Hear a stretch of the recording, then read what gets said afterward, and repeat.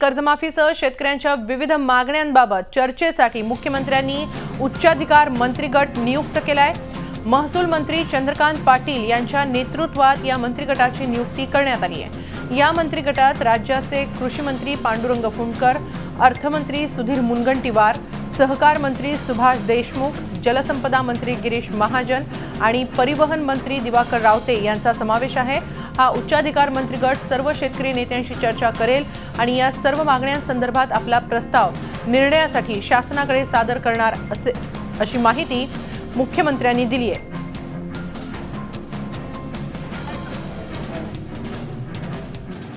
एक उच्चाधिकार समिती माझ्या अध्यक्षतेखाली निर्माण केली आहे की ज्याच्यामध्ये राज्याचे वित्तमंत्री माननीय सुधीरभाऊ मुनगंटीवार आहेत.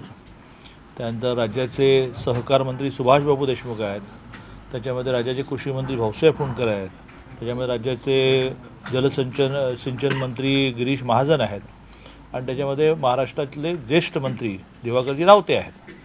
अशी एक समिती केली या उच्चाधिकार समितीला महाराष्ट्रातल्या सगळ्या शेतकरी संघटना महाराष्ट्रातले सगळे विरोधी पक्ष महाराष्ट्रातले शेतीविषयातले विचारवंत महाराष्ट्रामध्ये याच्या आधी झालेल्या कर्जमाफीच्या वेळेचे काही सनदी अधिकारी अशा सगळ्यांशी बोलून आणि सगळ्या घटकांशी चर्चा करून काय नेमकं करायचं हे इव्हॉल इव्हॉल्व करायला हे तयार करण्यासाठी ही समिती केली आहे. आणि मला खात्री अशी आहे की महाराष्ट्राच्या सगळ्या क्षेत्रातल्या घटकांशी चर्चा करून सगळ्यांना न्याय देणारा सगळ्यांना समाधान देणारा एक चांगला अहवाल एक चांगला मसुदा माननीय मुख्यमंत्री महोदयांसमोर आम्ही मांडू.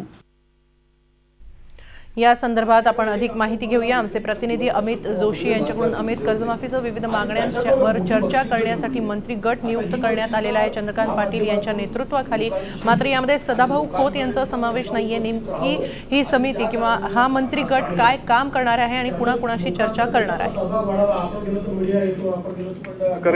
शेतकऱ्यांच्या संपावरून वातावरण तापलं होतं. आणि आता शेतकऱ्यांच्या संघटनांची सुकाणू समिती स्थापन झाली आहे. आणि त्यांनी यापुढे कसं आंदोलन असेल याचं स्वरूप सुद्धा स्पष्ट केलंय. तेव्हा मुद्दा हा आहे हा होता की यांच्याशी चर्चा कुठल्या माध्यमातून करायची? किंवा शेतकऱ्यांची सुकाणू समिती आणि सरकार यांच्यामध्ये चर्चा होत नव्हती तेव्हा ही कोंडी फोडण्याचा प्रयत्न सरकारनं या मंत्रिगटाच्या माध्यमातून केलाय असं म्हटलं तर चुकीचं होणार नाही.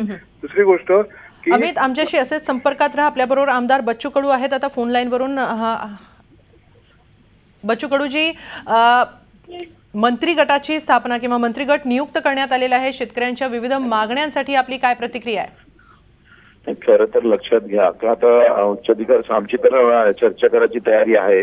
पण हा सगळा निर्णय सुकाणू समिती घेणार.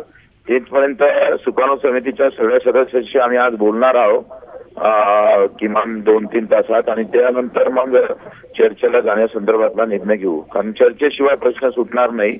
आंदोलन करायची काही आम्हाला हौस नाही आहे. पण किमान चर्चा झाली पाहिजे त्यासाठी आमची तयारी राहील. हं, चर्चा करायला तुम्ही स्वतः जाणार आहात मंत्रिगटाकडे नाही नाही, खरं आता सुकाणू समिती ठरेल ते पाच सहा लोक जाईल. पण तुम्ही स्वतः जाणार आहात का? आता सुकाणू समितीचा निर्णय आहे. तो किती एकवीस जणांची सुकाणू समिती आहे.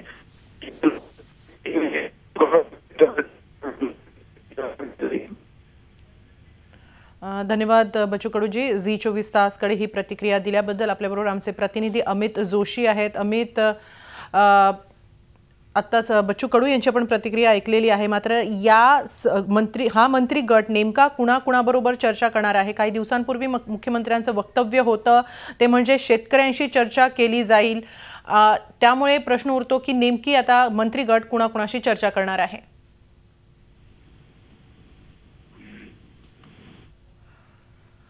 मागण्यांचा प्रस्ताव हा मंत्री गट सादर करणार आहे. शेतकऱ्यांशी चर्चा झाल्यानंतर आणि त्यानंतर यावर अधिक सगळ्यांना सामावून घेता येईल अशा प्रकारचा निर्णय घेतला जाईल असं मंत्री गटाकडून सांगण्यात आलेलं आहे. झी चोवीस तास रहा एक पाऊल पुढे.